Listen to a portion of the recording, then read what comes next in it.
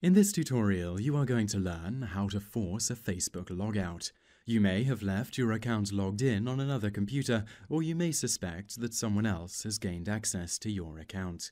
This tutorial will show you how to force your account to be logged out wherever it is logged in. First, go to www.facebook.com and make sure you are logged in to your Facebook account.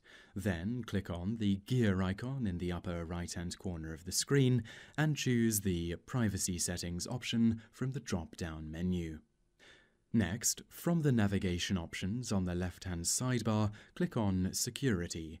A list of security settings will come up and you will choose the last security setting in the list, Active Sessions.